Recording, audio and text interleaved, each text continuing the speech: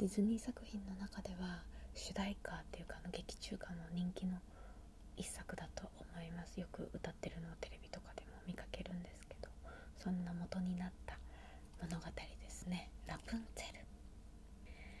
世界名作絵本からラプンツェルをお届けしたいと思います。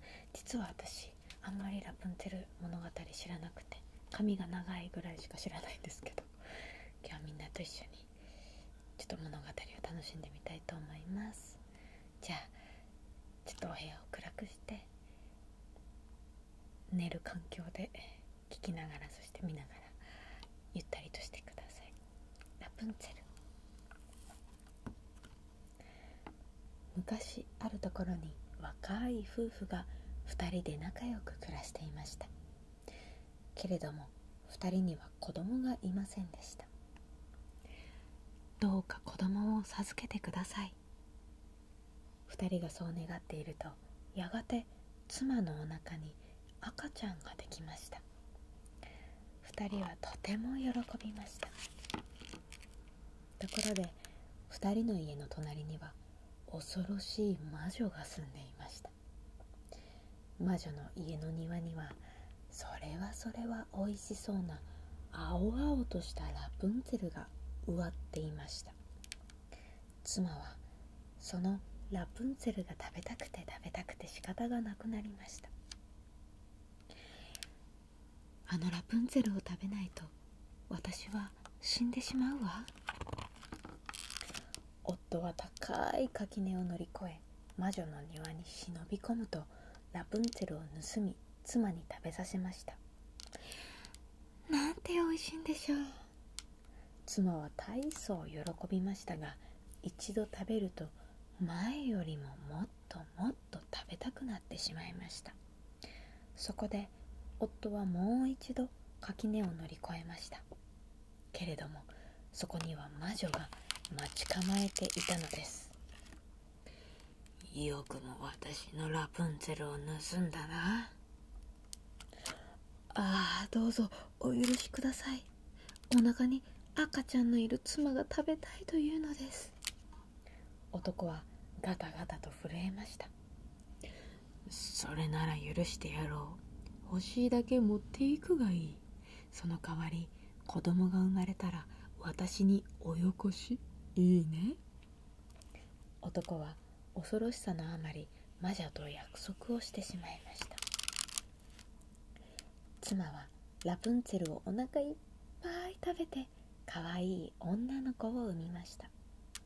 するとすぐに魔女がやってきました。約束通りこの子はもらうよ。魔女は女の子にラプンツェルと名前をつけると連れて行ってしまいました。ラプンツェルは魔女に育てられ美しい子供になりました魔女はラプンツェルが12歳になると森の中の高い塔に閉じ込めました。塔には扉も階段もなくてっぺんに窓が一つあるだけ。ラプンツェル？ラプンツェルお前の髪を垂らしておくれ。魔女がそう言うとラプンツェルが長い金の髪を垂らし魔女はそれを伝って登るのです。そうして何年か経ったある日のこと。一人の王子が森にやってきました。すると美しい歌声が聞こえてきました。ラプンツェルが塔の窓辺で歌を歌っていたのです。なんて美しい人だろう。王子はラプンツェルを好きになってしまいました。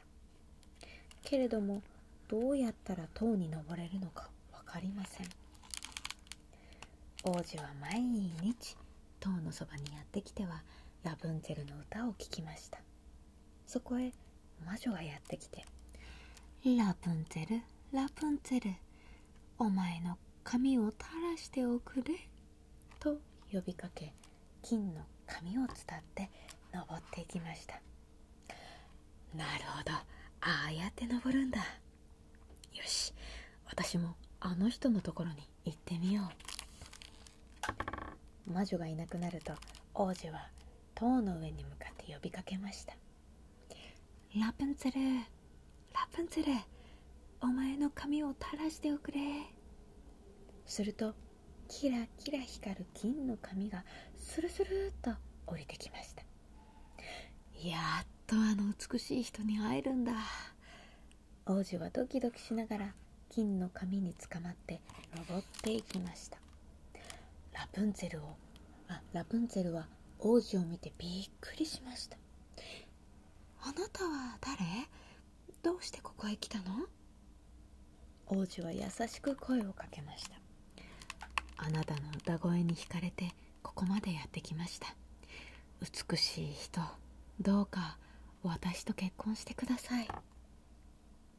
ラプンツェルは魔女には内緒で王子と結婚し2人は塔で会うようになりました。ところがある日ラプンツェルはうっかり魔女に言ってしまいました。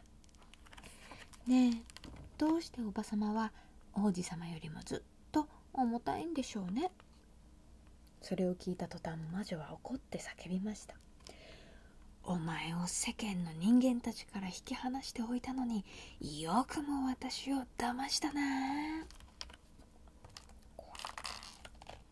魔女はラプンツェルの金の髪を根元からバッサリと切り落とし荒れ野へ連れて行って放り出しました。これからお前は一人きりで苦しみながら暮らすがいい。ラプンツェルは荒れ果てた野原で雨に打たれ寒さに凍えお腹を空かして毎日を暮らさなくてはならなくなりました。そうとは知らない王子はいつものように塔にやってきて「ラプンツェルラプンツェルお前の髪を垂らしておくれ」金の髪がスルスルっと降りてきました。王子はいつものように髪にすがって塔に登りました。ところがそこにいたのは美しいラプンツェルではなくて恐ろしい魔女だったのです。もうお前の可愛い妻はいないよ。ああなんということだ。王子はあまりの悲しさに思わず塔から飛び降りました。なんとか命は助かりましたが茨のトゲが刺さって目が見えなくなってしまいました王子は森の中をさまよい愛する妻を失ったことを嘆き悲しみ続けました。そして何年も経ったある日王子はあの懐かしい声を聞いたのです。そこにいるのはラプンツェルかい？ラプンツェルは双子の子供たちを産んで育てていたのです。変わり果てた王子の姿を見かけるとラプンツェルは駆け寄って抱きしめました。えー、そうよ。ラプンツェルよ。その時ラプンツェルの涙が二雫王子の両目に落ちました。その途端王子の目はパチリと開きまた目が見えるようになりました。王子はラプンツェルと2人の子供たちを連れて自分の国へ帰りました。それからみんなはお城でいつまでも幸せに暮らしました。おしまい。すごいファンタジー。すごいファンタジー。なんかざっくりとしか私はディズニーの方のラプンツェルって知らなかったんですけどそもそも魔女に育てられてないしなんか髪金色の髪の毛が長くていろんな事情があって塔の上にいるみたいなほんとざっくりしか知らないけど。なんかいいですね。夢のある。こういう物語をいっぱい子供たちには読んで聞かせてあげたいですね。だからこういうのがあるからみんなお姫様とかこういうプリンセスに憧れるんだなってそんな感じがする物語でしたねはいラプンツェルでした、えー、また起きた時にでも感想お待ちしてます。魔女は怖いね。どんな話でも魔女って本当怖いです。怖い人にはついていかないようにしましょう。そして良い子は早く寝ましょう。早くねこの液晶を見るのやめて寝てください。では、今夜もゆっくりとおやすみなさい。西大でした。西大でした。